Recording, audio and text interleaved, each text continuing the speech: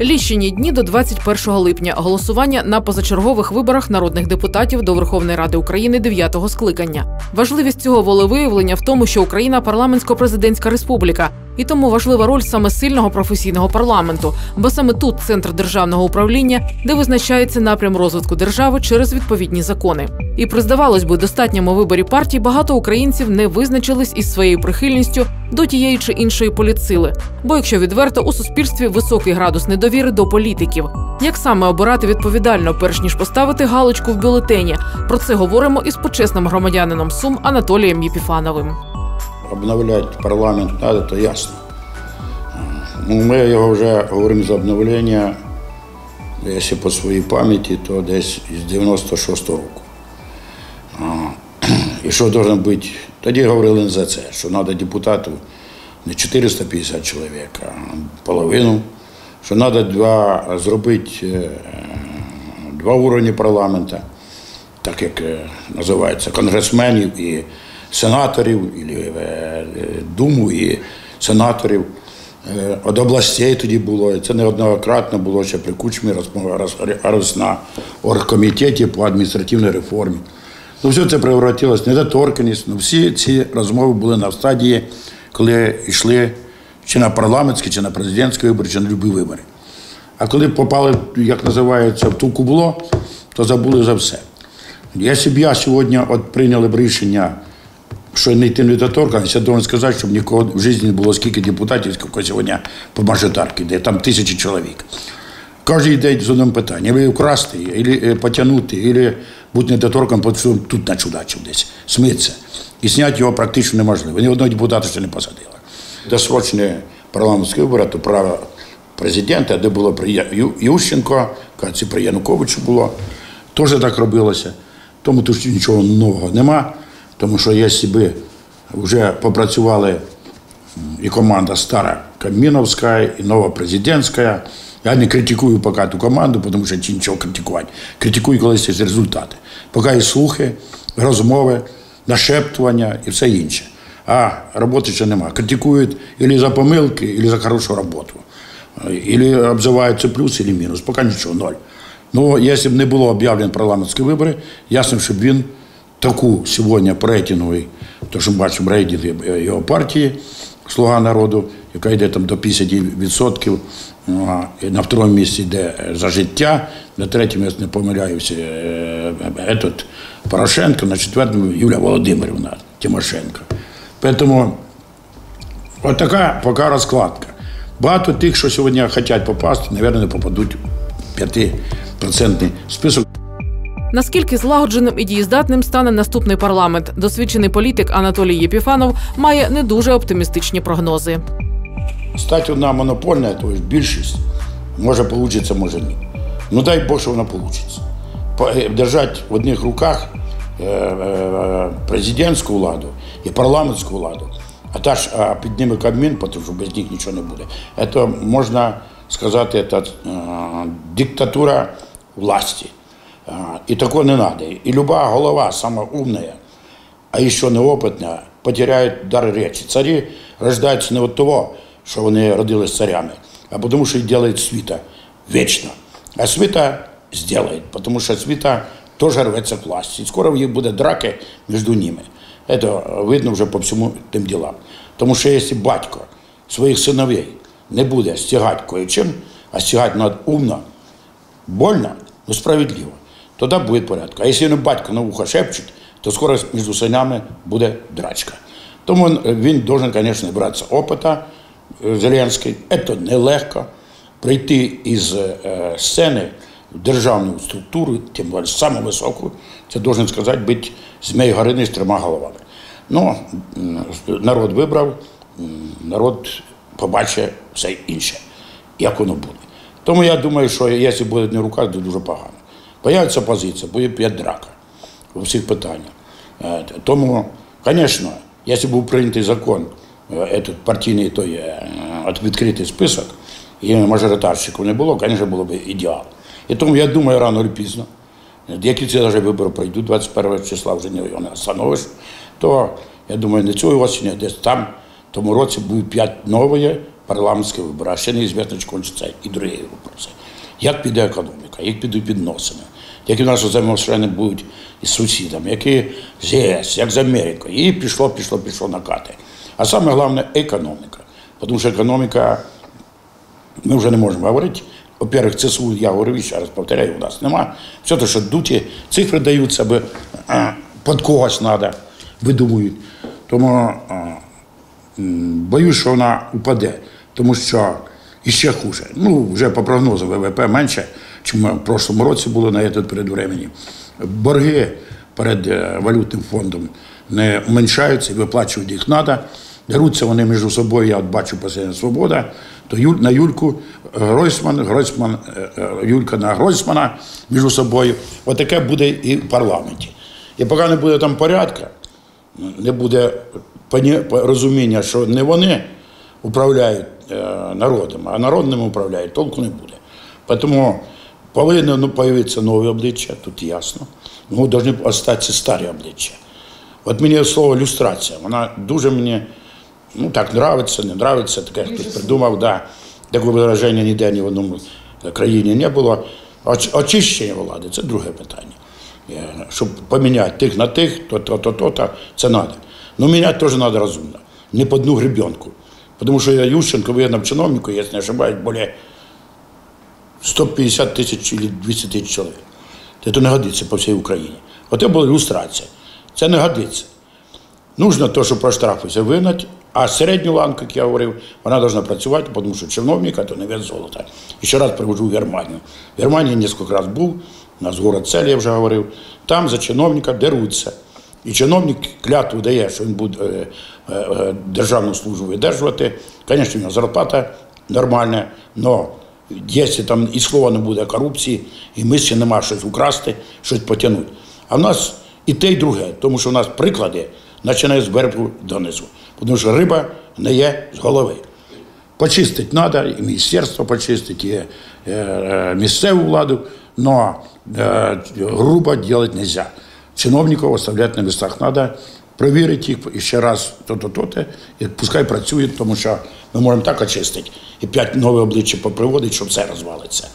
Тому боюся, нелегко буде Україні в ближчий час. Продовжуємо розмову проблемами фінансової стабільності і ситуації в економіці. Після виборів треба забувати про політичні чвари і об'єднувати зусилля всіх гілок влади заради дійсних змін в країні, акцентує Анатолій Єпіфанов. Всегда Національний банк курс долара держав. Ну це було тоді, коли курс долара був. Коли ми реформу зробили, курс долара був 1,7 десятих. Тоді він виріс до 3, до 4, 5. І 5 держався дуже довго і довго і довго. А потім 8. І 8 держався до 11-10 року, поки Стельмах був в Національному банку.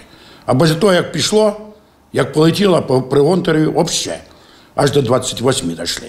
Всі ці питання. Це вказується в тому, що наша гривня безцінна. І то, що сьогодні робите, да, укріпили, укріпили, це, це не показник. Якщо буде експорт і імпорт, чим більше буде експорту, то бояться у нас своя валюта. Буде валюта в обороті, і курс гривні буде нормальний. Ну, у нас експорт падає, тому що у нас сусід великий, вон, що ми не хочемо, поганий, хороший. Ну, торговля Сумської області була із ним. 60 Фрунзе, 60-65% давав в Росію. Туркестан, Узбекистан, там ще, і та ще другі країни. Ну, в основному більше половини своєї продукції входить в це. І тоді було на Фрунзе 25 тисяч працюючих. Это коэффициент семейственности 3, это 75 тисяч сумчан були обезпечені із 300 тисяч тоді, коли було ті часи. Зараз ніхто не знає, скільки в Сумах живе. Говорять 268, як в Україні.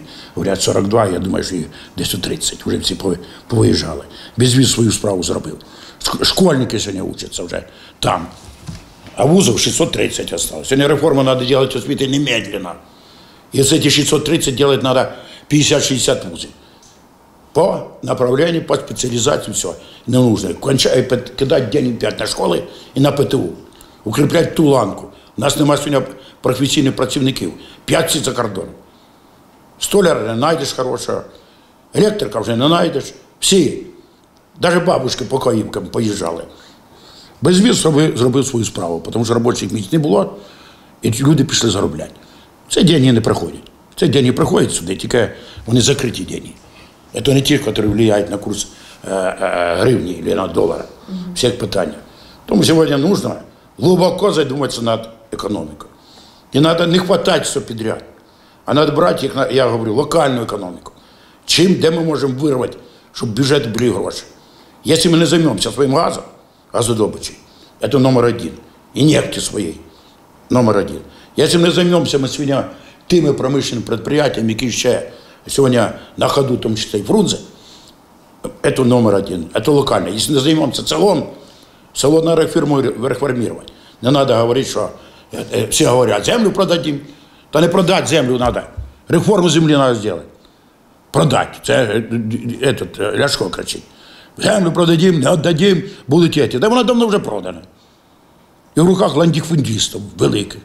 І вони заробляють страшні деньги. А бабушки, дідушки, як я говорю, дають по копеечки. Тому треба реформу робити землі. Оценку 5 землі, інвентаризацію землі, розібратися, де та земля, у кого знаходиться, приостановити, коли все висчитати, проаналізувати, зробити ринок ціну, при- розірвати всі договори, тому що на 49 лет ті, і сказати, а тепер создавайте фермерське хазяйство. Іначе дійсно, якщо не буде фермерських хазяйств, буде село помре. Тому е, надіємося, що буде правительство умне, коли буде парламент.